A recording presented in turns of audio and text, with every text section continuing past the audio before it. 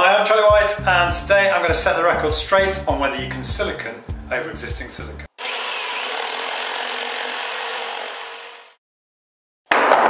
Now, I've seen a lot of people on forums saying, can I silicone over existing silicone? And the answers are pretty mixed. You know, some people say yes, of course you can, some people say of course you can't. You've got to remove all the silicone to do a proper job. Now, my advice on this generally is where you can, I would remove the existing silicone. Particularly where, like here, you've got mould forming on the silicone.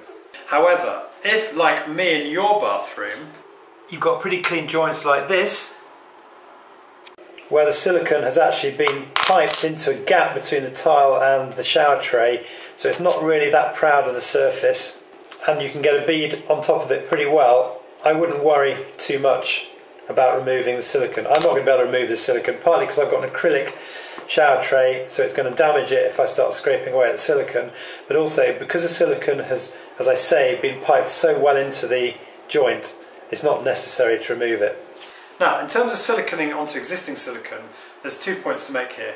Point one, you don't actually want the silicone to knit onto all three corners of the joint. You only really want about two, three millimeters on the side and then two or three millimeters on the base. This is because if you're using quite a high modulus silicone, i.e. a very rigid inflexible silicone, and your shower tray, bath area, whatever it is you're siliconing, has a lot of movement, then this movement is quite likely to tear the silicone if your silicone is knitted to the internal corner and the two sides of the joint.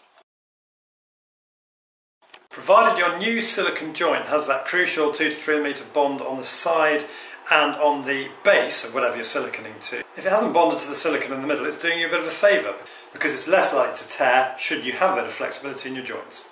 But if you want your joint to work as I've just suggested, make sure you tool a diagonal profile on your silicone bead using one of these Fugi profiling tools or similar. If you're siliconing over existing silicone and using your finger or some other concave profile tool, you will not get the same strength as you would if you use the diagonal profile on the profiling tool. For more information on why that is the case, take a look at the video I did last week, How to Silicone the Complete Pro Guide. But a little bit of advice for you here. If you want to do something and you can't find any examples on forums about whether it works or it doesn't, try it out for yourself, see what happens. Here's what I mean. So I was intrigued to know whether you can silicone onto existing silicone. So that's exactly what I've done here. As you can see now, here the silicone is dried onto the existing silicone and I'm now going to try and remove it so that I can show you how well it's adhered.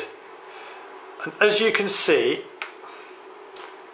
we've got a really good bond there. The existing silicone bead here has been in the shower for about a year and a half. I haven't really degreased this particularly well, I've just given it a quick clean, and I cannot scrape off the new silicone from that existing silicone bead. So for those of you out there who want to know whether you can or can't silicone, try it out yourself, and in my case, the answer is a pretty categorical yes, you can. Before I finish, remember the one golden rule when you're siliconing over existing silicone. Make sure you clean away all the residual soap, detergent from the surfaces that you're siliconing onto. Soap is the enemy of silicone. If you watched my previous video last week, you'll know that I never use a water and detergent spray when I'm siliconing for this very reason. When you've given the joint a good clean, I really recommend using something like methylated spirits as a degreasing agent before you apply your new bead of silicone. So that's enough of my boring chat. Take a look now at how I got on using this brilliant Fugi kit, siliconing over the existing silicone in my shower.